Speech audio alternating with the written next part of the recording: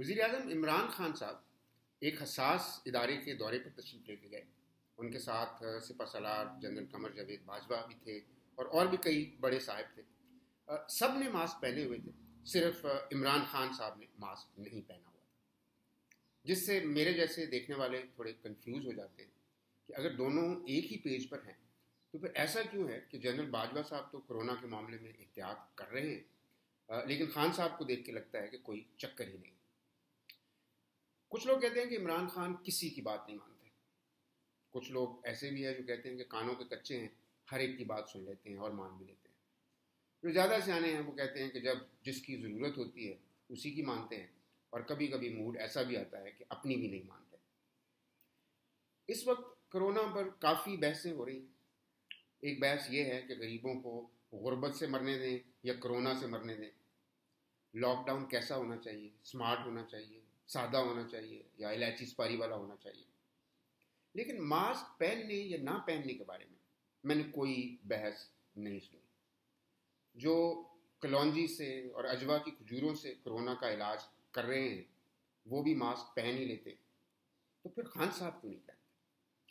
کچھ حاصل کہیں گے کہ خان صاحب کی مقبولیت کی ایک بڑی وجہ، ان کا خوبصورت اور وجیح چہرہ ہے۔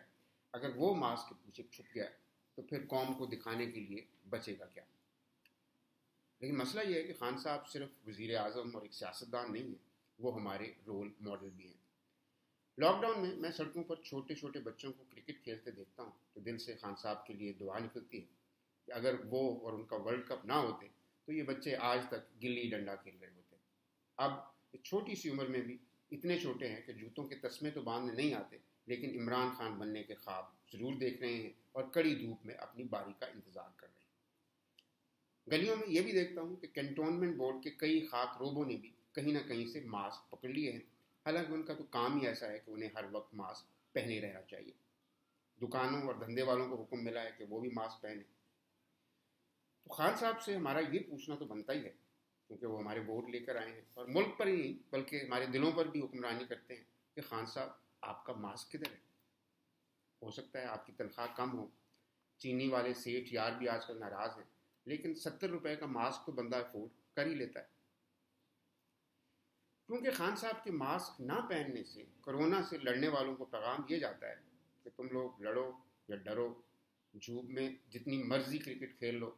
تم نے عمران خان تو بننا نہیں، تو کیا فرق پڑتا ہے؟ جیو یا مر جاؤ۔ یہ بھی ہو سکتا ہے کہ وہ خان صاحب سے اس بارے میں سوال پوچھے تو خان صاحب پھر شروع ہو جائیں کہ جب میں پہلی دفعہ انگلینڈ کرکٹ کھیلنے گیا تھا تو باقی اس کے آگے کی کہانی ہم سب کو پتہ ہے۔ بس اب مان لیں کہ آپ عمران خان نہیں ہیں، اسی لیے ماسک پہن لیں۔ اور ٹھوڑی پر یا ماتھے پر ماسک نہیں پہننا، منہ پر پہننا ہے اور ناک پر پہننا ہے، جیسا کہ جنرل قمر جوید باجوہ نے پہنا ہوا تھا، کیونکہ اب تک وہ بھی جان گئے ہیں کہ وہ عمران خان نہیں ہے